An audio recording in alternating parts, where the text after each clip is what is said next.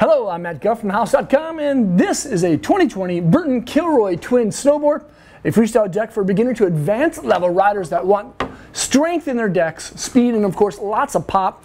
The Kilroy is a, a, really fun park board. A lot of people love it because it's pliable. You can press it, but it still has loads of ollie power. It's a true twin board. The nose and tail are the exact same shape. Uh, you can ride it this way or this way. It'll feel the same, and it features a centered stance with a channel mounting system that you can wear traditional disc bindings and EST bindings from Burton. Now, it also has a camber profile shape. As you see, it has a nice little arc, fairly sharp contact points, of course, but that camber arc is going to provide stability at high speeds and all the ollie power you need to get as high as you want to go.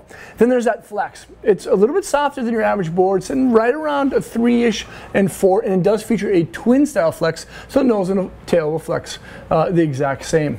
Now, inside this thing is a Superfly 2 wood core with a very simple biax fiberglass that's both on the bottom and the top of that uh, wood core that make the board pliable. It's easy to steer this board with your feet. So if you're locking to a you know backside lip slide, you can actually kind of like twist the board so it doesn't catch on that rail. And then uh, I really enjoy that Burton put the sintered base on the Kilroy twin deck. Sintered bases are faster than extruded.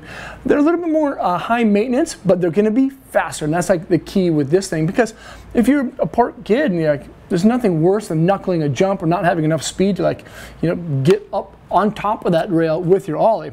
Um, and then there's that classic 360 wrap standard steel edge with a fairly standard um, side cut radius. But another cool thing that, that Burton does with their cores, the Superfly 2 core within a Kilroy Twin is they give it a little bit of profiling.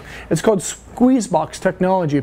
Squeeze box means that the core is thicker on the lateral and medial sides of where your bindings rest, allowing you to have more direct power right to the edge where you need it most, but still have the ability to have a softer wood core that's thinner in the nose and the tail and right in the middle of your feet. This is a dope board with a dope graphic called the 2020 Burton Kilroy Twin. Thanks for watching. Thanks for watching. Leave a comment or a question below, subscribe to the channel there, and check out our other channel for vlogs, how-tos, and other fun stuff over there. Peace.